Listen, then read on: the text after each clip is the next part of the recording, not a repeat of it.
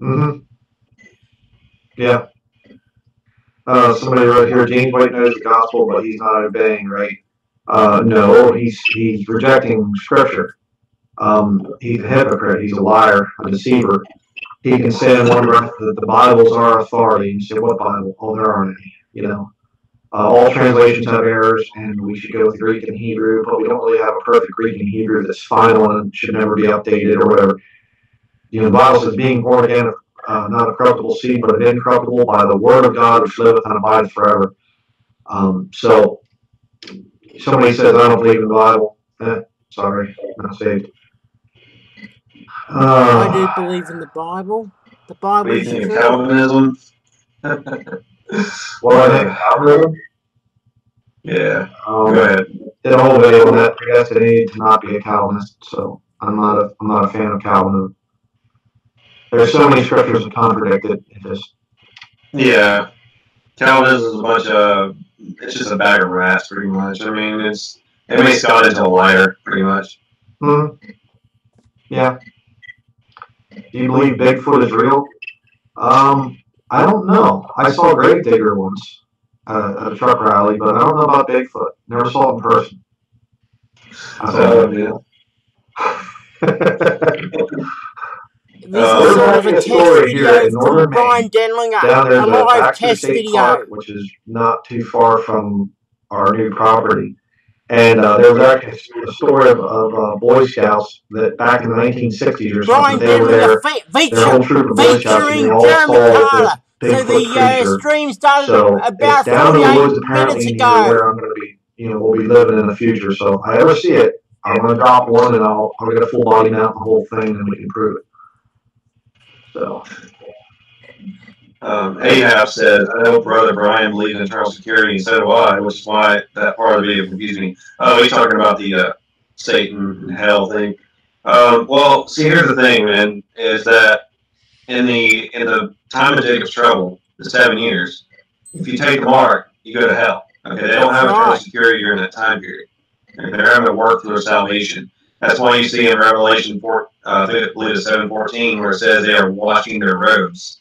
Okay, they have to wash their robes. Okay, in the blood of Jesus Christ. Today we are already washed. When we get saved, we become yep. washed. There's a difference. So you can't reconcile the two together. There's no way. So people in that time period, right. you know, they're having to work for their salvation. That's why Jesus Christ said, "He that shall endure to the end, the same shall be saved." They have to endure to the end. You know, basically the end of their life. So, mm-hmm. uh, Ed, you, you should do videos on, on this response um, to, to, to this video. Jesus saying to the Father why he left him. You know, Father, Father, why hast thou forsaken me? Uh, because the soul departed. Um, you know, again, you know, it's not that the God the Father is up in heaven is a separate man and he just, I mean, it doesn't really make any sense. I mean, God the Father wasn't standing there beside the cross and then he left, you know. Jesus didn't look out of the crowd and say, Father, Father, why are you leaving, you know. Um, no, he's talking about the soul leaving. Um, uh, Chad Daniels, James White is one of the greatest apologists of today. To claim he is not saved because he doesn't agree on the Bible version is problematic. Um, well, God's word is magnified above his name. So, uh, yeah, that's a problem. And why are James White's books endorsed by Jesuits? I don't know who James White is anyway. So the guy is not, if he's an apologist, whatever that you know whole stupid thing is, but the uh, you need to check yourself, okay? James White is a stinking rotten heretic. Right. And you know, yeah, uh, Mark Keenan down here said James got a tattoo recently, also, you know, worldly. Uh, yeah, there's a, tattoo, and he called it, uh, you know, uh, his mark of, you know, the, the or whatever, the lordship of Christ or something, you know. So whatever. Um, yeah, and, and let me say something about the apologetics thing. The whole apologetics thing, the street preachers are big into this whole thing. What it is, they they go that by that verse in Peter where it says you have to give an answer to every man, and they they take that one verse and just run with it, and apologetics is basically having to answer everything. You know, you have to answer every question comes along. No, you don't. The Bible doesn't teach such. Apologetics is very wicked.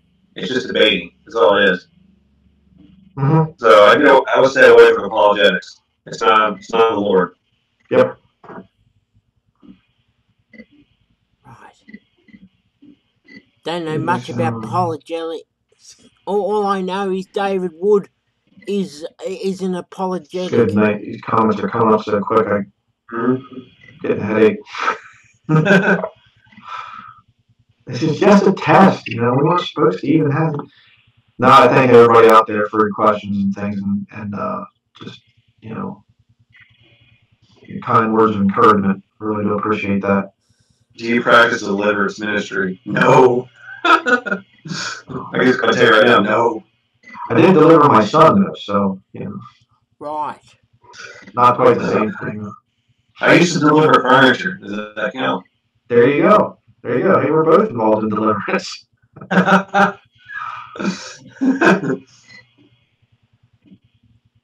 Uh,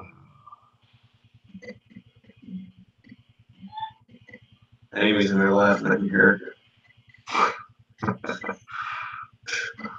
What do you think of the books, The Chaos and the Cults, and The Kingdom of the Cults? I've seen it in bookshelf, and I want to ask you if you can make a video review on it, please. uh, is that the stuff by Walter Martin? I think. I've I'm heard of going it. in a minute anyway. knew what it was. Yeah.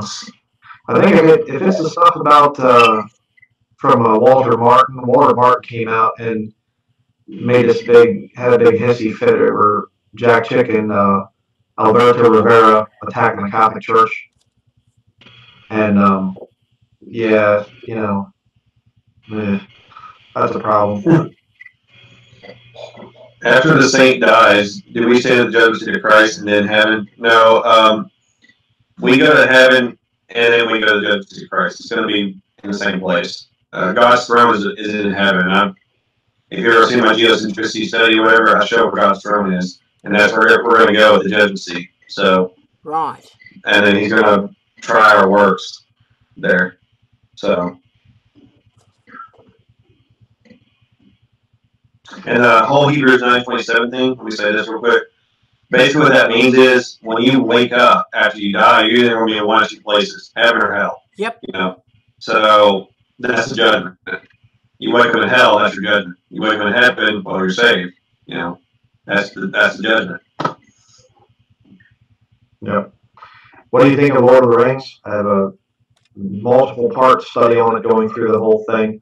Um, just to kind of give you a Authorized summation of it. KJV Um, Lord of the Rings was 1611 uh, asked Bryan John what do Ronald you think of Reuel Tolkien Robert was a real Breaker, so I just want to hear um, what what I mean by uh, that is he understood the ancient Bryan, Father Bryan pagan Denlinger nature of Roman says, Catholicism. and, and, and then I'll and go on he that. basically put If that he answers into his own fictional work and uh, made it a mirror image of what real Catholicism is all about.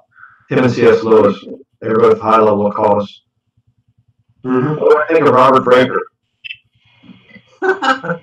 Uh, must be new here. yeah. yeah, no, Robert Robert Breaker. No, Yeah, Uh, he's monetized. He he just steals people's information. You know, and, uh, well, not information, I shouldn't say, but he, material, and uh, he, yeah, know. And well, monetization is better than what you're doing, Bryan Denlinger. yeah. Is Hey. Nephilim in Genesis chapter Asking six? Well, body of the word to, uh, the Bible. Fund I your can't speak the properties, Bryan but, Uh, the whole Nephilim theory thing came okay, from I'll uh, go David now. Thank you.